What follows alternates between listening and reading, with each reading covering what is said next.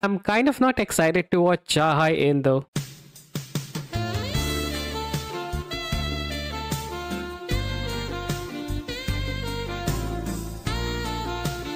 Okay, I've changed my mind. She's my favorite character now. The year 2023 was such a great year for anime watchers and as we have entered 2024 we expect it to get good or heck even better than the last year's shows and on that note here are some of the top most anticipated anime which you have to watch in this winter 2024. The first one is Solo Leveling and I can easily say that by far this is the most anticipated anime to be watched this season. If you don't know what Solo Leveling is then let me tell you it is based on a Korean web novel series which follows the main character Sung Jin Woo, whose main purpose is to fight in a dungeon for survival and money for his family. Initially, he was indeed very weak, but after surviving in one of his first missions, he was chosen by a program called System, which chooses him as its sole player, and in return, it gives him a lot of overpowered abilities, including the ability to change anyone he kills into his minions, hereby giving him the title of Shadow Monarch. And I'm definitely excited for this anime. I'm kind of not excited to watch Cha Hae-In though.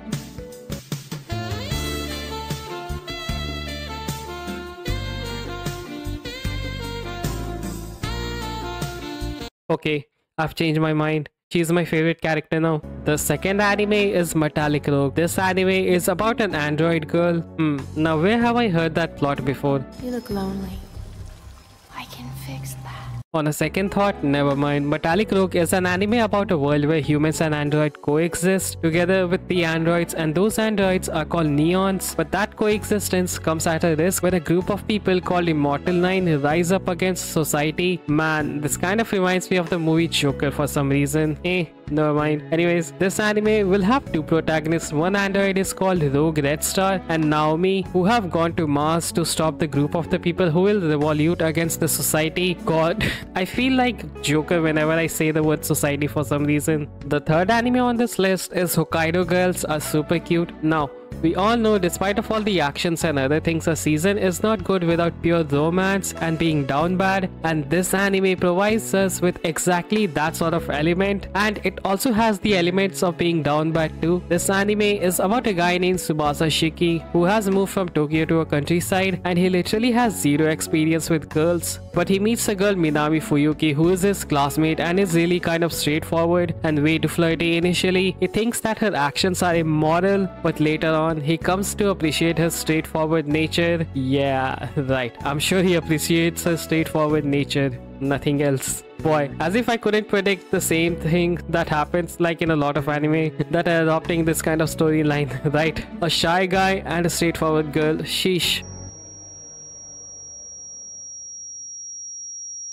Anyways, moving on to the next anime on the list, it's Mashle Magic and Muscle Season 2. How can I forget about our local alpha and sigma male Mash, who literally thinks that he can change the world with just his bare fist? If you don't know what this anime is about, then it's about a guy with zero magical powers. In a world where magic is everything, due to this, he has literally made himself physically strong in all aspects and has reached the pinnacle of peak physique. Not to mention, he has also raised up girls even without knowing it, and I'm kind of excited where season season 2 takes my favorite Sigma male too.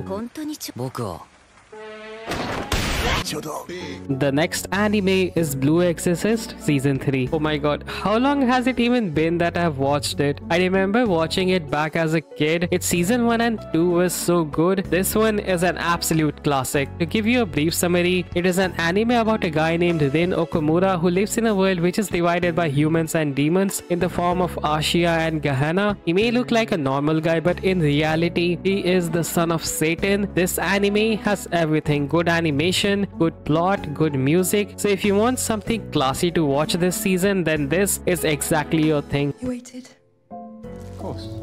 Alright, the next anime is Classroom of the Elite Season 3. How can I forget about my second favorite edgelord literally me character, Ayanokoji Kiyotaka? I mean, the first position of being the best edgelord definitely goes to Cid Kagenou from my perspective. Anyways, Ayanokoji is the guy who plays 4D chess in a school where there are literally other intelligent people, just not of his caliber, an emotionless sociopath, the perfect human with the capabilities to manipulate anyone. Honestly, the way he beat the heck out of Ryu Ryuen and his gang in the end of season 2 was absolutely amazing considering that he has been the indirect leader of Class D with Suzune Horikita as the outwards class leader. He has guided his class to victory on various occasions and I'm sure that this season will be exactly as good as the previous ones. This brings me to the last anime on my list and that is Haikyuu movie The Battle of Garbage Dump. This will be about the battle between Karasuno and Nekoma, a true classic.